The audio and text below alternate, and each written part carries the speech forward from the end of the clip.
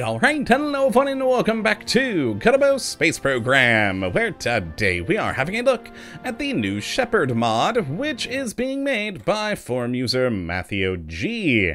And what this glorious little piece of work looks at into the game is all the parts necessary to build your very own new Shepard rocket, which of course is the lovely rocket being made by Blue Origin.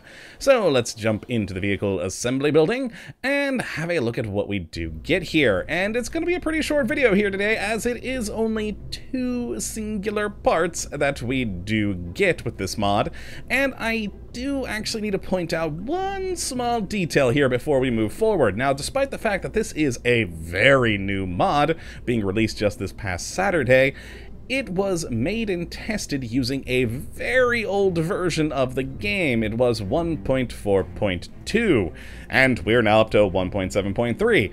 But thankfully, it is a parts mod, so parts tend to be compatible into future versions. And this one is working perfectly fine. I've had no issues with it, except for one singular minor glitch, which we'll talk about in a little bit, but honestly, it doesn't affect the usability of it, at least in my mind. So let's take a look at the first part here, which is of course the new Shepard pod. And it is a very good looking thing, looking indeed like the new Shepard command pod there, with the just massive large windows, and thankfully an interior view so you can gaze out of those windows through the eyes of your Kerbal which is always entertaining, and it is a very nice internal view. I think, honestly, it's probably my favorite part about the whole mod. Now, as for the stats on this thing, it is a command pod with a minimum of one crew member to operate and a max capacity of a six. It does also have a built-in decoupler, an engine producing 320 max kilonewtons of thrust with liquid fuel and oxidizer, also does have a built-in reaction wheel, 200 electric charge, and uh, small tanks for liquid fuel and oxidizer was 16 on the liquid fuel and 19.4 on the oxidizer. All in all, though, a very good command pod. And then the second and final part we have here is the main body of the new Shepard rocket. And if we pop that baby on, it is very good looking. And of course, matches quite nicely with all the images I've personally seen of the new Shepard rocket, and it is a pretty cool there. I do very much enjoy it. Now, as for the stats on this thing, it is an unmanned command pod, and its engine will produce 561 kilonewtons of thrust using liquid fuel and oxidizer. Does, of course, also have its own reaction wheel, 200 electric charge, but a lot more fuel this time, with 2,250 liquid fuel and 2,750 on the oxidizer. And all in all, it just looks wonderful, and of course does have a functioning uh, speed brakes that we have up at the top, as well as deployable landing legs, which you can see down here, which work pretty darn well. So let's actually go out into the world now and have a look at this thing in use and talk about that one minor glitch so you guys are aware of it. So let's grab this new Shepard craft I popped onto the launch pad earlier and have a look at what we've got. Now, first, let's go take a look at the beautiful interior of this thing. So let's jump through Jebediah's eyes there.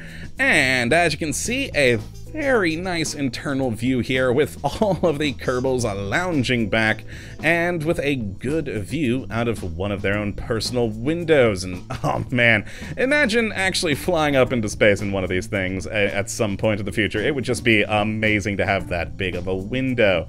But all in all, a very, very cool interior. Whoops, did not mean to exit out. Meant to go to the eyes of the next Kerbal, which, I mean, basically you get the same exact view through all of their eyes since, I mean, it's just a big circle of lounging chairs here. But a very good nonetheless. Alright, so now we go back outside to take a look at the rocket, and one thing you may notice, my uh, speed brakes there are uh, already kind of deployed partially, and that will happen whenever you come into the game from uh, the uh, vehicle assembly building. Even if you had them fully closed, they'll start partway open. In their animation, it doesn't actually seem to do the braking, but uh, at least visually, you'll want to, you know, deploy them real quick and then retract them just to get that sleek look once more. Doesn't really break anything functionally, but just a slight little annoyance. The big thing that I actually do consider a glitch is with the landing legs. Now, we can deploy the landing legs just fine, but you may have just noticed something. The speed brakes deployed. uh, which, I mean, isn't really that big of an issue considering when you're using the legs, you're probably also going to be using those. But here's the interesting thing that I found, that if you then uh, try and reach, or uh, to, to actually deploy the speed brakes, because again, it just seems to be a visual error, if we then deploy them, the landing legs retract, and they actually do physically retract. It's not just a visual glitch. Those landing legs are now gone, and I figured this out when I had uh, originally launched this craft with the landing legs out, and I went, oh, hey, my speed brakes seem to be out, so let's retract those. And when I did, the whole craft just toppled over because, well, there were no longer any landing legs to support it, which was interesting. But again, I don't actually see that as a big functional issue, because in the real world, at least in the videos I've seen of the new Shepard, it launches from like an actual platform with things like our uh, stability enhancers here. It only uses the legs when it's coming down for a landing. And if you're doing that, I mean, you do deploy your speed brakes first, that works just fine. Then you retract your legs, and uh, that works just fine once we actually deploy them there. There they go and all that's perfectly okay. It just comes when you want to retract those speed brakes, there go the legs. So a minor thing, honestly, that I really don't see as an issue in how, at least personally, I would be using this rocket. But let's actually fire it up and actually retract the legs there, even though they technically are already retracted. And then launch this baby in 3, 2, 1, fire! And with its large amount of fuel and the engine on here, this thing can pretty easily get into an orbit. Now, if you are using the Real Solar System mod, there is a real fuel, uh, real fuel switch uh, version of the mod that you can get. It's all in one singular download, and then you choose whether you need the real fuel version or the non-real fuel, fuel version to actually go into your game data folder. So it is nice that it does have that compatibility, but all in all, you know, it's uh, a pretty good little rocket. If we do throttle down there and of course a launch that, we can then fire off our other little engine for a short amount of time. And there we are. And goodbye to the rest of the new Shepard rocket down there. It is going to blow up something horribly. But yes, uh, this is the new Shepard rocket. Overall, a pretty cool and I think solid rocket to play around with, with a beautiful interior view here. Uh, just with that one minor glitch with the landing legs, but overall I still think a good addition to the game.